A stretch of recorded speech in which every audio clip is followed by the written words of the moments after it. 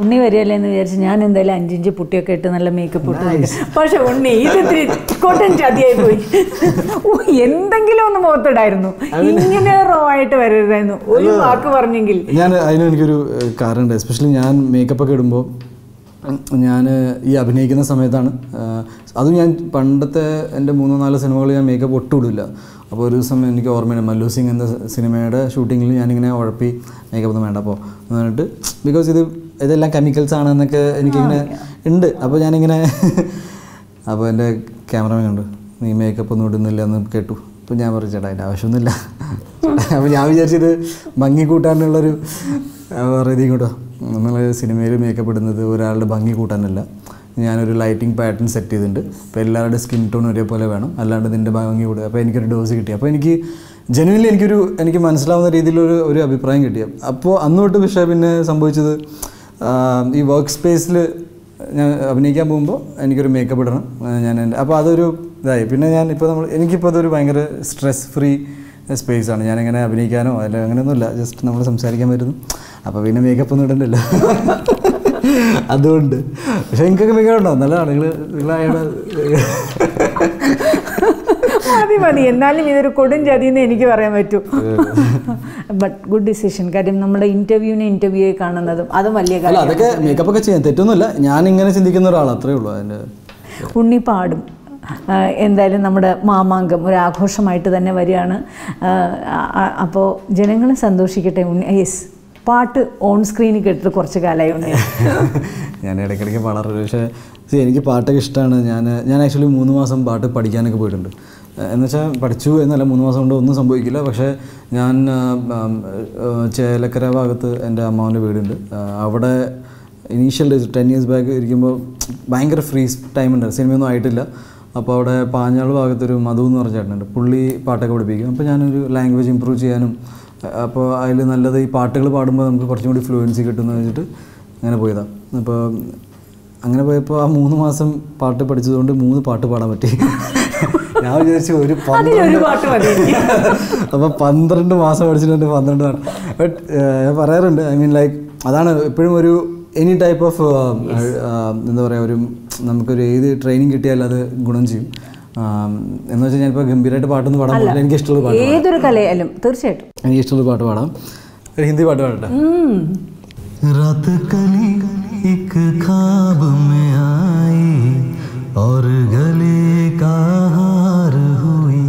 പഠിക്കുന്ന കാലത്തൊക്കെ പുറത്ത് കേരളത്തിന് പുറത്ത് വളർന്ന ഒരു ആളാണ് ഉണ്ണി. അപ്പം തിരിച്ച് നാട്ടിലേക്ക് വരിക എന്ന് പറയുന്നത് എപ്പോഴും എത്ര നമ്മൾ എന്തൊക്കെ പറഞ്ഞാലും കേരളത്തിന് പുറത്ത് പോലും തിരിച്ച് നാട്ടിലേക്ക് വരിക എന്ന് പറയുന്നതാണ് നമ്മുടെ ഒരു സന്തോഷം.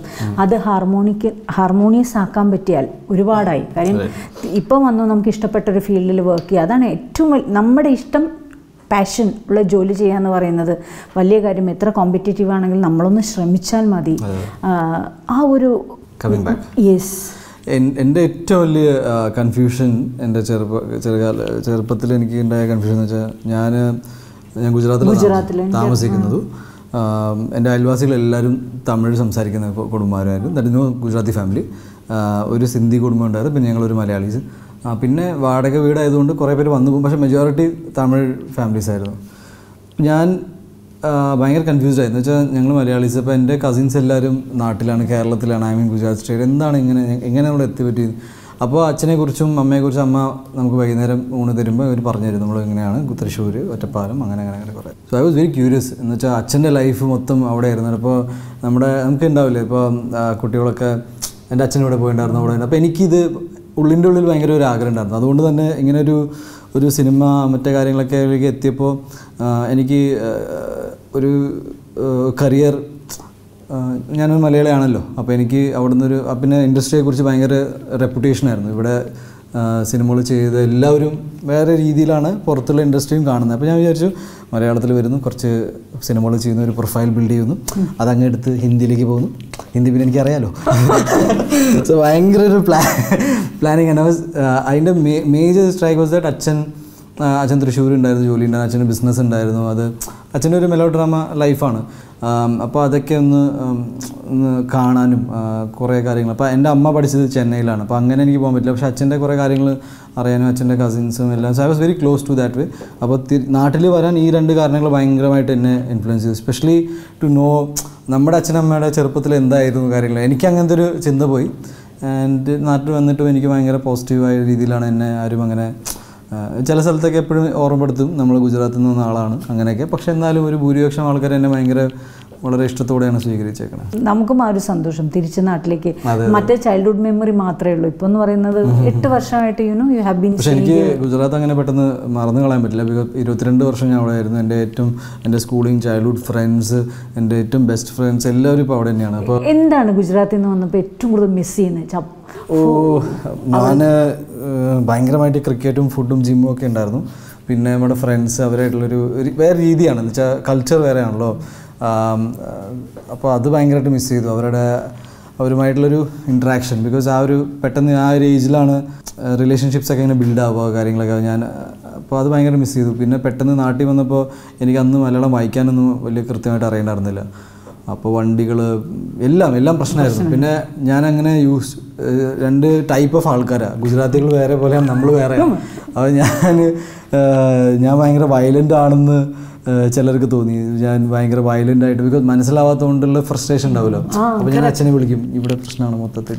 അപ്പോൾ ഞാൻ പോസ്റ്റ് ഓഫീസിൽ എനിക്ക് വാക്ക് വാക്ക് ഉണ്ടായിട്ടുണ്ട് ടിക്കറ്റ് കൗണ്ടർ ബിക്കോസ് ക്യൂ തെറ്റിച്ച് പോയിട്ടുണ്ട് ആൾക്കാർ അപ്പോൾ അങ്ങനെ കുറച്ച് കുറച്ച് ഐ ലൈക്ക് എല്ലായിടത്തും ഉണ്ട്. പക്ഷേ എനിക്ക് ഭയങ്കര പുതിയതായിട്ട് തോന്നിയ ചില കാര്യങ്ങളുണ്ടായിരുന്നു പിന്നീട് എനിക്ക് യൂസ് ടു ഇപ്പം ഞാനും ഇപ്പം ഞാൻ അവിടുത്തെ കാരണമല്ല ഇവിടുത്തെ കാരണമല്ല എല്ലാം മിക്സായി നമ്മളെല്ലാം ഒന്നാണ്. അല്ലെങ്കിൽ സിനിമയ്ക്ക് ഭാഷയില്ല എന്ന് വിശ്വസിക്കുന്നു. ഗ്ലാഡ് ദാറ്റ് എനിക്ക് ഗുജറാത്തിലൊക്കെ ആയതുകൊണ്ട് ഇപ്പോൾ ഹിന്ദി ഗുജറാത്തി തമിഴ് മലയാളം അത്യാവശ്യം കുഴപ്പമില്ലാണ്ട് ഇംഗ്ലീഷും അങ്ങനെ ഭാഷകൾ കുറേ മനസ്സിലാക്കാൻ പറ്റും. പിന്നെ എനിക്ക് എനിക്ക് അവിടെ പോലെ അഡ്ജസ്റ്റ് ചെയ്യാൻ പറ്റും. ബിക്കോസ് മൾട്ടി ലിംഗ്വൽ ഒരു ഒരു സൊസൈറ്റിയിൽ ജീവിച്ചതുകൊണ്ട് ഒരു പുതിയതായ ഒരാൾ വന്നു കഴിഞ്ഞാൽ അയ്യേ എന്നതിനെക്കാട്ടും കൂടുതൽ ഞാൻ കുറച്ചും കൂടി ക്യൂരിയസ് ആണ് അവരുടെ കാര്യങ്ങൾ മനസ്സിലാക്കാൻ. ഇന്നത്തെ കാലത്ത് യൂത്ത് എന്ന് പറഞ്ഞാൽ അവരുടെ ജോലി അവരുടെ താല്പര്യം ആണ്. അച്ഛനും അമ്മയൊക്കെ പറഞ്ഞാലും they have their own genuine reason അത് ദറ്റ് ഈസ് ഹൈലി അപ്രീഷിയേറ്റഡ് കാര്യം ഇതൊക്കെയാണ്. ഇല്ലെങ്കിൽ നമുക്ക് ഇഷ്ടമില്ലാത്ത സിനിമ ഇഷ്ടമുള്ള ഒരു കുട്ടി എഞ്ചിനീയറിംഗ് പോയി പിടിച്ചിട്ട് ആദ്യത്തെ കൊല്ലം ജോ ഒരു ക്യാമ്പസ് സെലക്ഷൻ കഴിഞ്ഞ് അവൻ തിരിച്ച് സിനിമയിൽ വരും. എന്നിട്ട് എഞ്ചിനീയറിംഗ് കഥ പറയും ഞാൻ അന്ന് പോയി. അത് നമ്മൾ കണ്ടുകൊണ്ടിരിക്കുക അതേ പണ്ട് അങ്ങനെയല്ല. അച്ഛനും അമ്മയും കുറച്ച് തീരുമാനിച്ചാൽ നമ്മൾ കുറേ കാര്യങ്ങളൊക്കെ അതേപോലെ അതേപോലെ തന്നെ ഒരു കല്യാണം. കല്യാണം എന്ന് അച്ഛനും അമ്മയും അയ്യോ ഇത്രയും പ്രായം ഇനി നിനക്ക് കല്യാണമൊക്കെ നോക്കണ്ടേന്ന് പറഞ്ഞാലും പണ്ട് നമുക്ക് ഓടിപ്പോകാൻ പറ്റില്ല. ഇന്ന് അങ്ങനെയല്ല. എത്രത്തോളം കമ്മിറ്റ്മെന്റിനെ പേടിയാണ്. അത് ഒരു മാരേജ് ഇൻസ്റ്റിറ്റ്യൂഷനായിട്ടാണോ കാണുന്നത്? കമ്മിറ്റ്മെന്റ് ആയിട്ടാണോ കാണുന്നത്? അത് ഓക്കെ ഇനി ഒരു ഹാർമോണിയസ് ലൈഫായിട്ടാണോ കാണുന്നത്? എനിക്ക് കമ്മിറ്റ്മെന്റ് ഫോബിയ ഒന്നുമില്ല. നമ്മുടെ കാര്യത്തിൽ നോക്കുമ്പോൾ കല്യാണം എന്ന് പറഞ്ഞ കാര്യം ഓർഗാനിക്കലി സംഭവിക്കുന്നതാണെന്ന് ഞാൻ വിശ്വസിക്കുന്നത് അല്ലെങ്കിൽ you be lucky of that ഭയങ്കരമായിട്ടുള്ളൊരു ഒരാളെ കണ്ടുമുട്ടുന്നു ഭയങ്കര പ്രണയം ആ വീട്ടുകാരും ഒക്കെ ജാതി മതം പ്രശ്നം വരുന്നില്ല. ലൈക്ക് എല്ലാം സെറ്റായി വരുന്ന ചില കാര്യങ്ങൾക്ക് ഓക്കെ ആയിരിക്കും.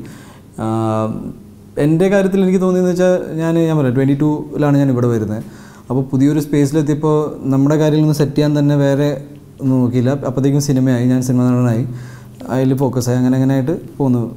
ജസ്റ്റ് ദാറ്റ് അങ്ങനെ സംഭവിക്കട്ടെ. പിന്നെ എനിക്ക് ഞാൻ എന്റെ എന്റെ വീട്ടിൽ ഞാൻ കണ്ടത് വളരെ ബ്യൂട്ടിഫുൾ മാരേജ് ലൈഫാണ് എന്ന് വെച്ചാൽ എന്റെ അച്ഛനും എത്രയോ കാലങ്ങളായിട്ട് ഹാപ്പി ആ ഒരു പരസ്പര വിശ്വാസം സന്തോഷകരമായ ജീവിതം എന്ന് പറയുന്നത് വലിയ ഭാഗ്യമാണ് അത് രണ്ടുപേർക്കും ഈക്വലി അതുകൊണ്ട് തന്നെ മാരേജിനോട് എതിർപ്പൊന്നുമില്ല. മാരേജ് ഇപ്പോഴത്തെ സി സിറ്റുവേഷൻസ് മാറുകയാണല്ലോ ഇപ്പോൾ ഒരു സിംഗിളായിട്ട് ജീവിക്കുന്ന ഒരാളുടെ അടുത്തും എന്തുകൊണ്ട് നിങ്ങൾ കല്യാണം കഴിക്കുന്നില്ല എന്ന് ചോദിച്ചിട്ട് കാര്യമില്ല. ബിക്കോസ് അയാൾക്ക് അങ്ങനത്തെ ഒരു കറക്റ്റായ ഒരാളെ കല്യാണം കഴിക്കുന്നില്ല എന്നുള്ളൊരു ചോദ്യം അല്ല. പക്ഷെ ഇതേപോലെ നമ്മൾ ഇതൊരു ഇതൊരു ചോദ്യമോ അല്ലെങ്കിൽ ഇത് നിങ്ങൾ കല്യാണം കഴിക്കണോ എന്ന് പറയുന്ന ഒരു ഇൻഫർമേഷൻ അതൊന്നും ആ പേരൻസിന് പോലും പറ്റാത്തൊരു കാലത്താണ് നമ്മൾ ജീവിക്കുന്നത്. പക്ഷേ ഈ യങ്സ്റ്റേഴ്സിന്റെ കോൺസെപ്റ്റ് എന്താണെന്ന് ചിലപ്പോൾ ഇതിനെക്കുറിച്ച് തെറ്റിദ്ധാരണയുള്ള പഴയ ജനറേഷനോ അല്ലെങ്കിൽ ആശങ്കയുള്ള പുതിയ ജനറേഷനോ ഒക്കെ ഒരു ഫ്രണ്ട്ലി മെസ്സേജാണ് ഈ തലത്തിൽ ഒരാൾ പറയുമ്പോൾ ഞാൻ ഇതുകൊണ്ടൊക്കെയാണ് കുറച്ച് അല്ലെങ്കിൽ ഇതാണ് എന്റെ ഒരു കോൺസെപ്റ്റ് എല്ലാവർക്കും ഉണ്ടാവും അവരുടെ. ന്യായങ്ങൾ എന്റെ എനിക്ക് എന്നെ കുറിച്ച് മാത്രമേ ഐ ക്യാൻ ഓൺലി ടോക്ക് ഉണ്ണിയെ കുറിച്ച് പറയാവൂ ഉണ്ണിയെ കുറിച്ച് പറഞ്ഞാൽ മതി. ഇവിടെ വരെ എത്തിയിട്ട് പിന്നെ ഡീവിയേറ്റ് ചെയ്ത് പോയി. പറയില്ലേ ഫ്രാങ്ക്ലി സ്പീക്കിംഗ് എനിക്ക് അങ്ങനെ ഒരു ആളെ കണ്ടെത്താൻ പറ്റിയില്ല. Maybe I am not meeting enough people പിന്നെ വർക്ക് എനിക്ക് വേറെ ഞാൻ പറയാം ഞാൻ അങ്ങനെ സിനിമ ബാക്ക്ഗ്രൗണ്ടിൽ നിന്നല്ല വന്നത് അപ്പോൾ എനിക്ക് സിനിമയിൽ ഒരു തീരുമാനം എടുത്തു അവിടെ എത്തി ഇനി എന്തെങ്കിലും ചെയ്തേ പറ്റൂ എന്നൊക്കെ പല ബേർഡ് ഉണ്ട്. അപ്പോൾ നമ്മൾ പലപ്പോഴും അത് വിട്ടിട്ട് വേറെ രീതിയിൽ വെഞ്ചർ ഔട്ട് ചെയ്യാൻ പോയിട്ടില്ല. എന്ന് വെച്ചാൽ എനിക്ക് കുറേ ആൾക്കാരെ ഇഷ്ടപ്പെട്ട് ആ ഗ്യാപ്പിൽ പോയിട്ടുണ്ട്. ജസ്റ്റ് ദാറ്റ് എനിക്ക് അത്രത്തിൽ ഒരു ഒരു സീരിയസ് ആയിട്ട് കൊണ്ടുപോകാനുള്ള ഒരു സ്പേസിലായിരുന്നില്ല ഞാൻ. എനിക്കെപ്പോഴും എന്നോട് ചോദിച്ചാൽ ഇപ്പോൾ എനിക്കങ്ങനെ ഓക്കെ സംഭവിക്കട്ടെ. ഹാർഡായിട്ട് ആ waiting for it let it happen അത് അങ്ങനെ വരട്ടെ. ഇപ്പോൾ വീട്ടിൽ നിന്ന് ഒരാൾ കൊണ്ടുവരാണെങ്കിൽ ഹാപ്പി അല്ലെങ്കിൽ എന്നെ ആരും കണ്ടുപിടിക്കാനും ഞാനും ഹാപ്പി എനിക്ക് ഒരാളെ കണ്ടുപിടിക്കാൻ വേണ്ടി അത് ഹാപ്പി ഇതിപ്പോൾ എല്ലാം ഇതിനേക്കാളും കൂടുതൽ എക്സ് ഇപ്പോൾ ഞാൻ അതിനു വേണ്ടി ഒരു പ്ലാനിങ് ഒന്നുമില്ല. ബിക്കോസ് സിനിമ ഭയങ്കര എക്സൈറ്റിംഗ് ആയിട്ട് എന്നെ ഇപ്പോൾ ഹോൾഡ് ചെയ്യുന്നുണ്ട്. എനിക്കൊന്നും ചിലപ്പോൾ മിക്കവാറും അങ്ങനെയാണ്. എന്നോട് എന്റെ കുറേ ഫ്രണ്ട്സ് പറയുന്നത് നിനക്ക് അതിനോട് താല്പര്യം ഇല്ലാത്തതുകൊണ്ടാണ് ഇത് സംഭവിക്കാത്തത്. നീ അതിലേക്ക് ഒരു താല്പര്യം കാണിക്കും. നമുക്ക് വേണമെങ്കിൽ വെബ്സൈറ്റ് മെട്രിമോണിയിലേക്ക് ഇടാം.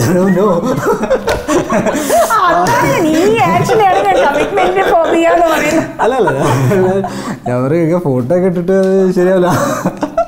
So we are like so many അതിന്റെ ഒരു ഇൻട്രസ്റ്റിംഗ് ഏരിയ ഉണ്ട്. എല്ലാവരും ഇങ്ങനെ എക്സൈറ്റഡ് ആയിട്ട് നിൽക്കുന്നു. ഞാൻ പറഞ്ഞു എടാ അത് ലെറ്റ് ഇറ്റ് ഹാപ്പൻ പിന്നെ എനിക്ക് ഭയങ്കര ഇഷ്ടമാണ് എനിക്ക് കുട്ടികളെ ഭയങ്കര ഇഷ്ടമാണ് ലൈക്ക് എന്റെ ഫ്രണ്ട്സിന്റെ കുറേ കുട്ടി എന്റെ ചേച്ചിക്ക് മോളുണ്ട്. So it's a beautiful thing basically സംഭവിക്കുകയാണെങ്കിൽ നല്ലത്.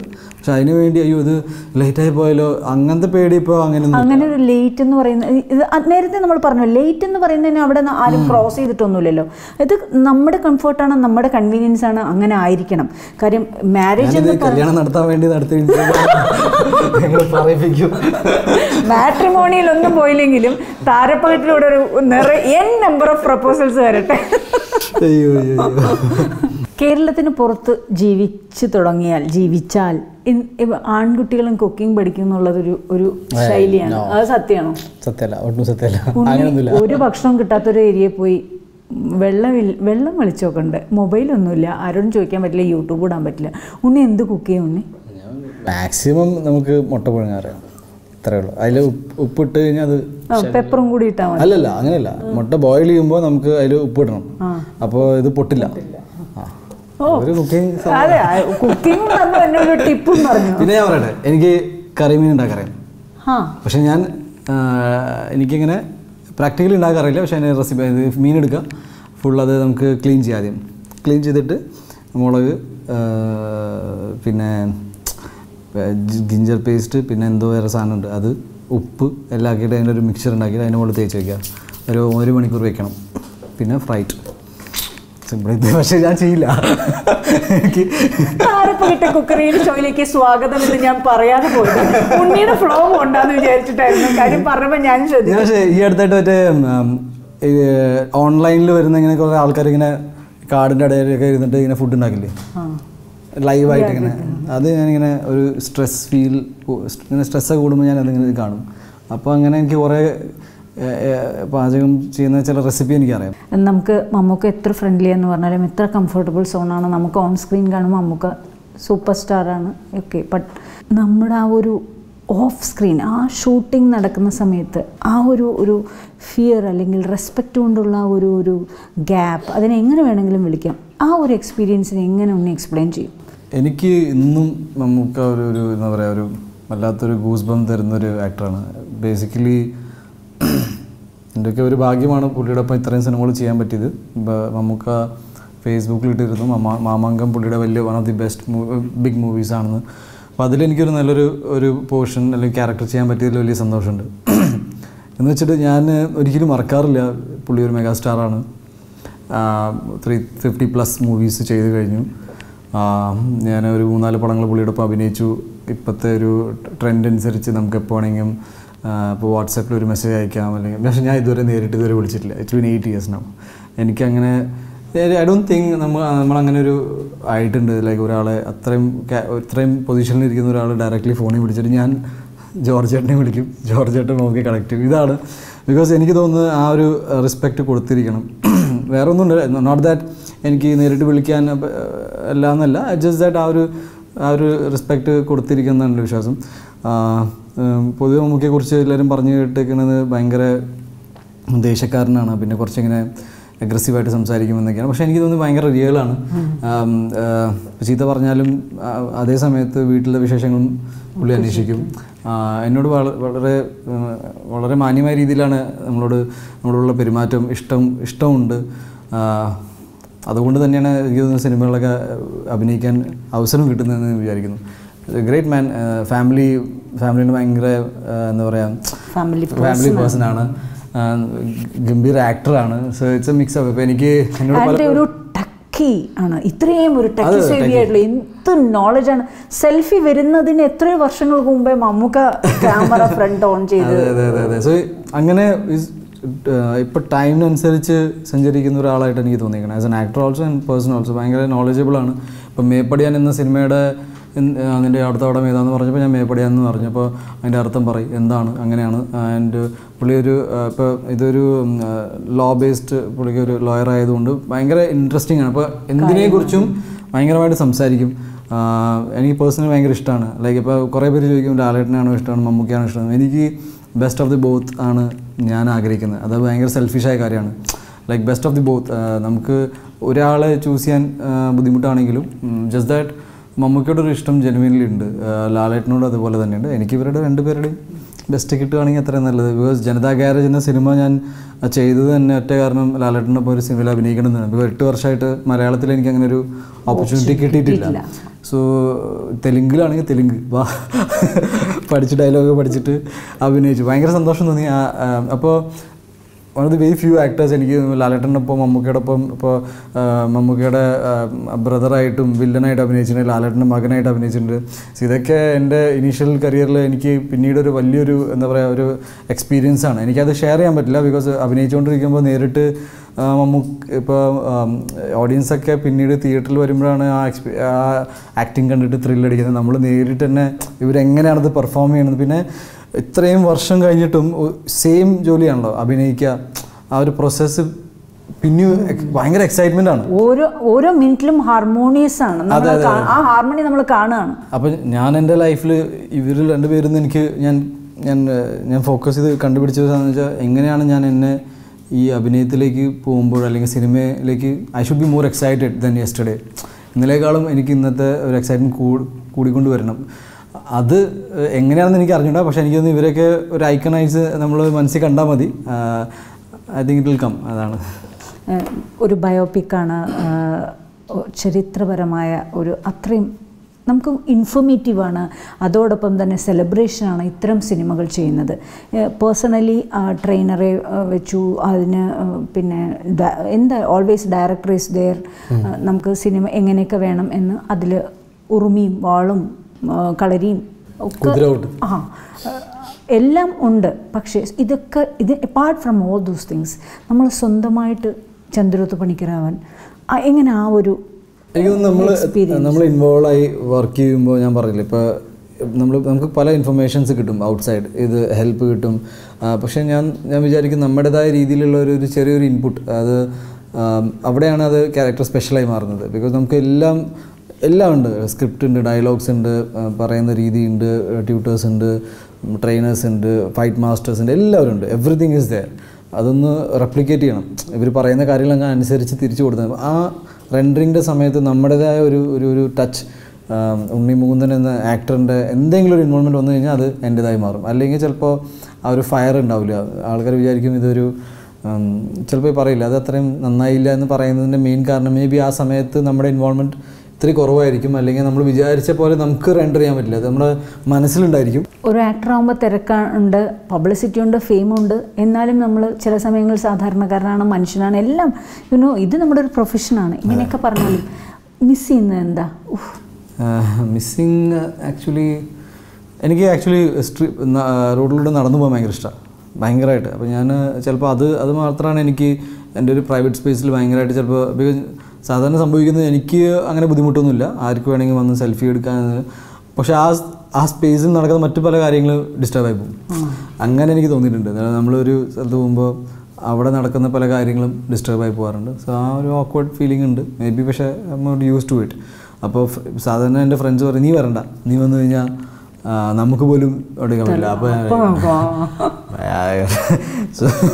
അപ്പോൾ അങ്ങനെയുണ്ട്. പക്ഷേ അതുകൊണ്ട് ലേറ്റ് നൈറ്റ് ഷോ അങ്ങനെ എന്തെങ്കിലുമൊക്കെ ചെയ്യും. ഇപ്പോൾ ഈ അടുത്തായിട്ട് ഞാൻ ഇപ്പോൾ മേപ്പടിയാൻ ഷൂട്ട് ചെയ്തുകൊണ്ടിരിക്കുന്നതുകൊണ്ട് ഒരു റുട്ടീൻ ഒന്നുമില്ല. തോന്നിയ സമയത്ത് ഫുഡ് കഴിക്കുക തോന്നിയ സമയത്ത് കിടക്കുക അങ്ങനെയൊക്കെയാണ്. ബിക്കോസ് ആ ക്യാരക്ടർ അങ്ങനെ ആയിരിക്കും സിനിമയിൽ ആഫ്റ്റർ ദാറ്റ് എന്റെ വളരെ സ്ട്രിക്റ്റ് സ്കെഡ്യൂളാണ് ഞാൻ അഞ്ചരയ്ക്ക് എണീക്കും.